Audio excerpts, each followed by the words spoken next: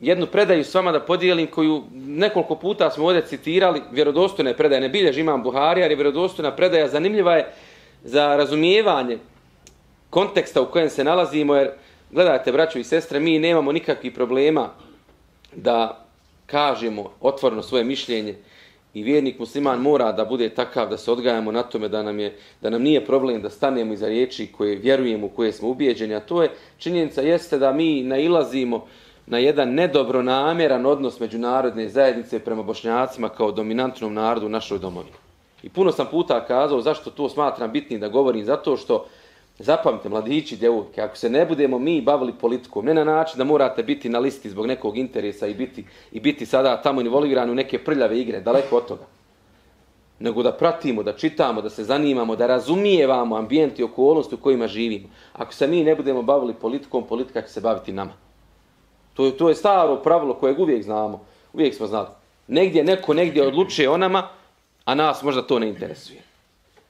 I onda kada vidimo posljedice nekih odluka, mi kažemo pa šta je ovo, niko nas nije pitao, a nas nije zanimalo, jer smo mislili da to nije važno. I zato ima jedna lijepa izreka kada su pitali jednog velikog političara iz, iz Turske, iz prošlog stoljeća, koji je na neki način otac ove moderne Turske, koji se zvao, prezivao Serbakan, kad su ga, kaže oni njemu, hajde, kaže, pusti ti, ti si završio medresu, ti si na neki način ima, ti si hođa pusti ti priču o policiji, nego gde ti sjedi, čitaj Kur'an, uči ti Kur'an.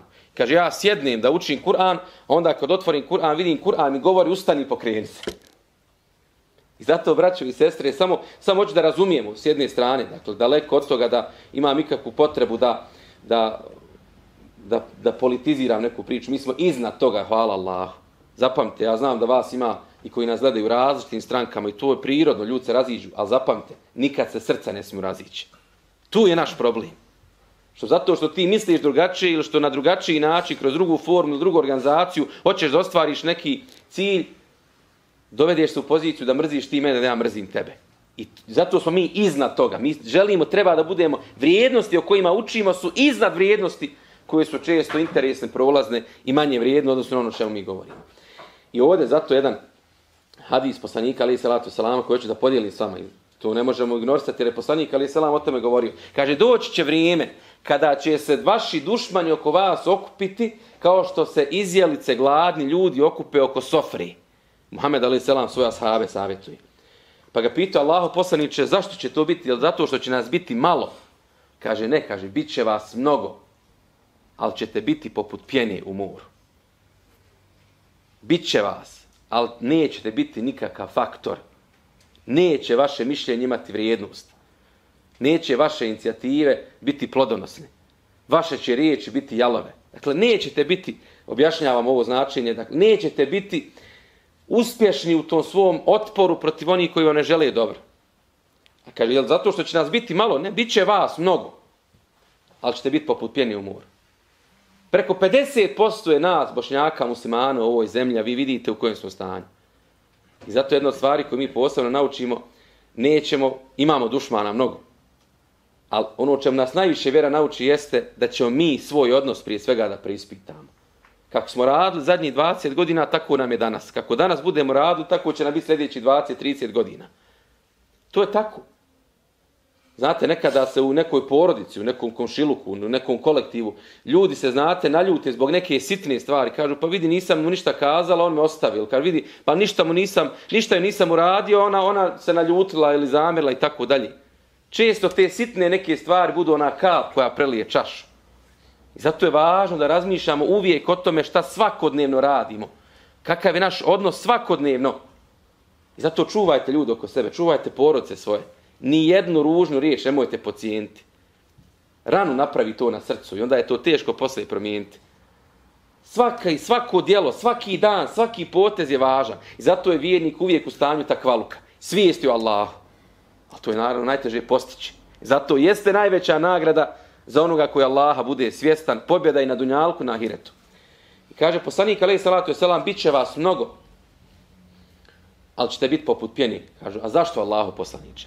Kaže, zato što će Allah iz srca vaših dušmana iskorijeniti straho poštovanje prema vama.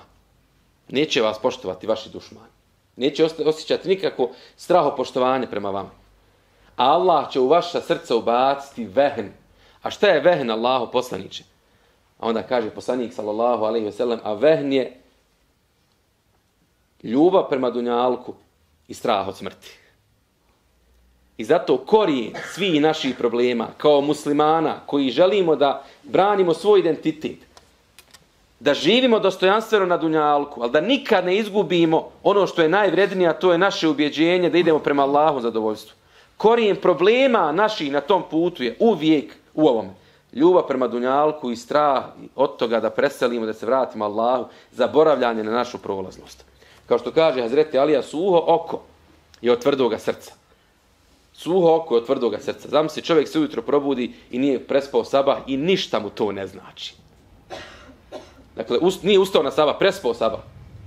I ode na posao, ne naumpadne mu da je sabah prespavo. Ne, ne sjeti se toga uopšte. A kamo li da zaplače zbog toga? Znate šta je samo to znak? To suho oko. Svejedno mu zbog toga. Od suhoga srca. Tvrdoga srca. Tvrdo srce je od mnogo grijeha. Mnogo grijeha je od zaboravljanja na smrt. A zaboravljanje na smrt dolazi od ljubav prema Dunjalku. To jest kad Dunjaluk postane najveća briga. I zato ovdje, zašto vam ovo govorim u tim specifičnim okolnostima, mi svoju domovinu jačamo, mi svoju zemlju branimo, mi svoj identitet čuvamo, čuvanje svoje vjere. To sam hiljadu puta kazao ovdje. I zato drugi hadis poslanika, alaih salama, koji konkretno hoću s vama da podijelim. Gledajte, kad poslanik, alaih salama, ovo je jedna široka dimenzija. Općento ljubav prema dunjalku, strah od smrti. Dakle, zaboravljanje smisla vodi nas u poniženje. Ima nas, ali kao da nas nema. A onda konkretno Muhammed Ali Salatu Selam govori u drugoj jednoj predaji. Kaže, najviše što je uništavalo narode prije vas, govori poslanik sallallahu alaihi ve sellem, bilo je, kaže, mnoštvo pitanja, rasipanje i metka i prihvatanje onoga rekla kazala. I hajde sad pogledajte u naš narod. Pogledajte u našu omladinu. Hajmo naučiti iz ovoga hadisa. Prva stvar, mnošto pitanja. Ovo znači da moraš da šutiš, da nikad ne pitaš, da ništa ne kažeš, da nemaš svoj stav. Daleko od toga. Koliko smo puta citirali hadise u kojima poslanik Ali Salatu Selam, danas ćemo taj hadis citirati, u kojima on ashabe podstiče da pitaju i prihvata suge, sugestiju. I znamo da u Kur'anu ima puno primjera gdje se govori o pitanjima. A šta ovdje osuđuje poslanik sallallahu alaihi ve sellem? U stvari, on osuđuje ovdje dovođenje u pitanje, braće i sestre. Jer realnost je naša često. Postavi čovjek pitanje i onda ide od šeha do šeha, od efendije do efendije, od profesora do profesora, dok ne dobije odgovor koji odgovara njegovome nefsu, a ne ono što je istina što treba da prihvati. I zato to dovođenje u pitanje. Gledajte, Melek, kada je Allah Đošanu kazao, postavit ću na zemlji namjesnika. Postavit ću namjesnika na zemlji. A meleki kažu, zar ćeš da postaviš nekoga koji će nered činiti i krv proljevati. Kaže Allah uzvišen, ja znam ono što vi ne znate. A meleki odmah kažu, kal, subhane, kaže, ti si uzvišen i slavljen. Nema raspravljanja, jer postavljanje pitanja je jedna stvar kad nije ti jasno. Dovođenje u pitanje je naš problem. U red, koliko je, koliko je zeka? 2,5%. A što je 2,5%? A što nije 2,3%? Koliko je dnevna namaza? 5 dnevna. A dobro, a što nije 10 namaza? A što nije 3 namaza? Pa ko će, kaže tu? Dakle, kod stvari koje su jasne u vjeri, koje, oko kojih nema dileme, mi često dovodimo te stvari u pitanje. I tu se troši bespotrebna energija. Zato u Kur'anu nemate više od 20 mjesta, nema više nekoliko samo ajeta koji idu na, na princip jes eluneke, jes eluke i tako dalje. Pitaju te, se'el, va ida se'eleke i tako dalje. Pitaju te, ispituju te, pitaju te ljudi i tako dalje. Zašto kažu učenjaci? Zato što ashabi jesu pitali Muhammeda sallallahu alaihi ve sellem i dobivali su odgovor. Ali nakon što bi ju pitali i dobili odgovor, više ne bi dovodili u pitanje, nego bi radili i primjenjivali.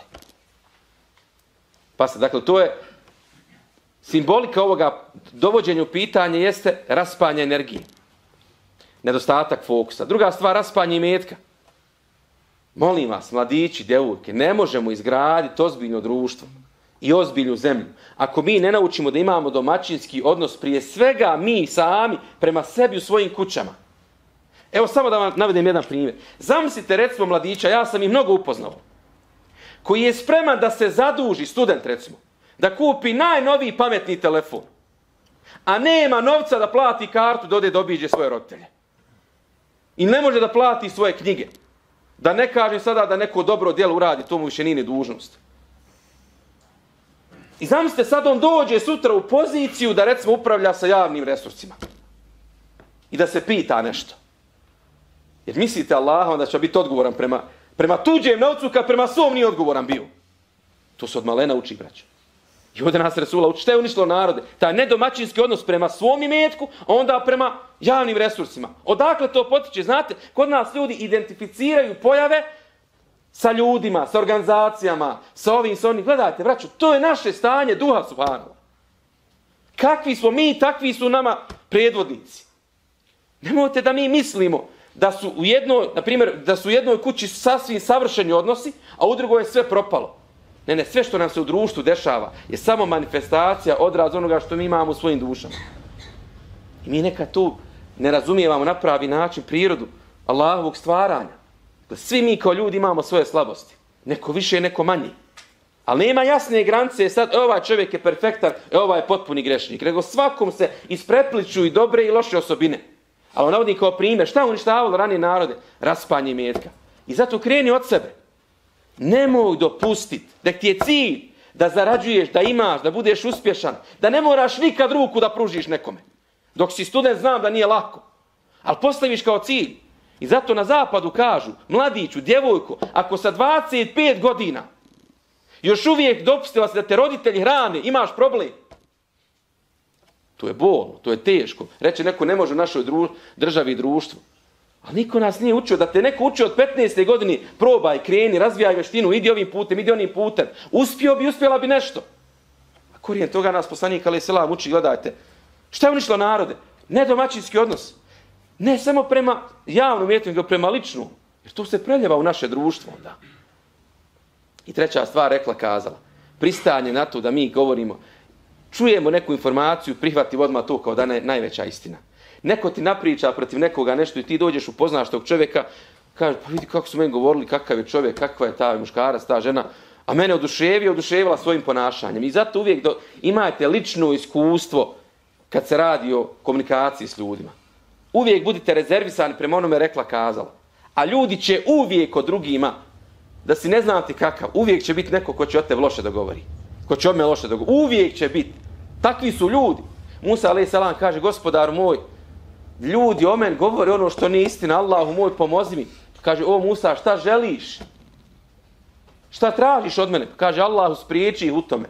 Kaže, o Musa, tu privilegiju nisam sebi, gospodaru, dao kako da tebi dadnem to. Ljudi na Allaha lažu. Ljudi Allaha negiraju.